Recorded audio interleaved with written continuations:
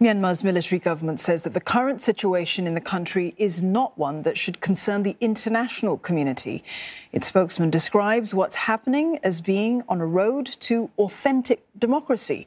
He also says that Aung San Suu Kyi is accused of corruption. $600,000 in cash and 11 kilograms in gold. That's the legal payment the military accuses Aung San Suu Kyi of accepting while in government. But it did not say when it happened, only that an investigation is ongoing. Corruption accusations were also leveled against President Win Myint and other cabinet ministers. Speaking at a media conference, the military spokesperson Zaw Min Tun reiterated that elections would take place eventually, but indicated that Myanmar would see changes to its electoral system. The military has sought to replace the current first past the post system with that of proportional representation.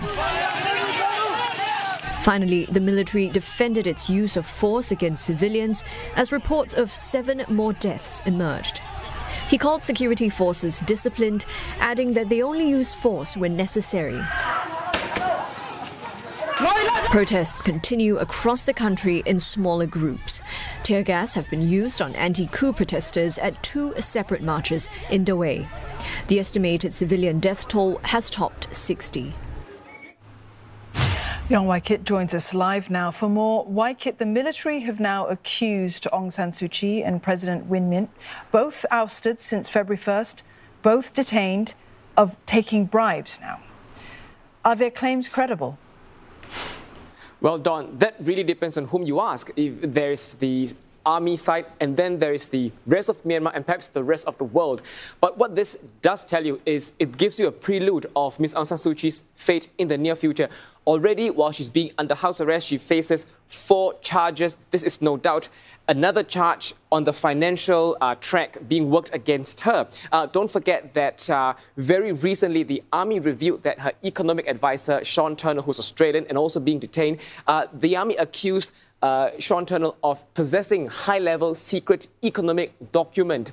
Uh, last month, the army also raided Ms. Aung San Suu Kyi's uh, NLD headquarters in Yangon. They confiscated items, uh, including uh, computers as well as items in the safe box. And of course, uh, Ms. Suu Kyi's uh, foundation, which she, she founded, uh, uh, was, is, is now also being looked into for any financial wrongdoing. So this is really a prelude as to what she may face in the near future. And don't forget, this is all only in the public domain. There's also perhaps we need to consider also backdoor or behind the scenes of, of what else the army is working up against Ms. Suu Kyi.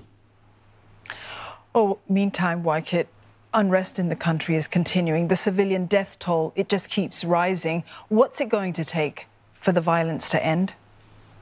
Don, this is a very, very difficult question to, to answer. I mean, it takes two hands to clap, and for the clapping to not take place, one of the hands must be out of the equation, or there must be an external factor to stop the clapping from happening. As of now, the Myanmar army, as well as the protesters, neither of these parties seem to be backing down. As for external factors that could hinder further clashes, one could imagine perhaps uh, the uh, peaceful resolution or dialogue to take place, but that is not making a lot of headway. The other predictable external factor that could stop the clash from happening could be the release of Aung San Suu Kyi, but again, that's even further away from the truth.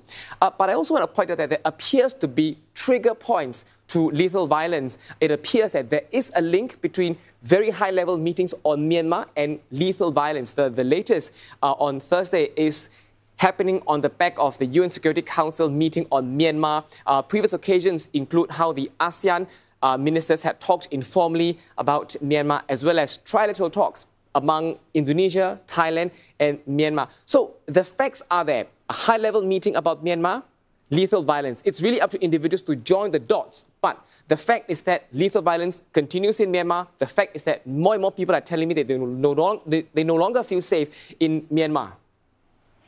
Wai Kit, thank you very much for that. Thanks for staying on top of this story for us. Young Wai Kit there.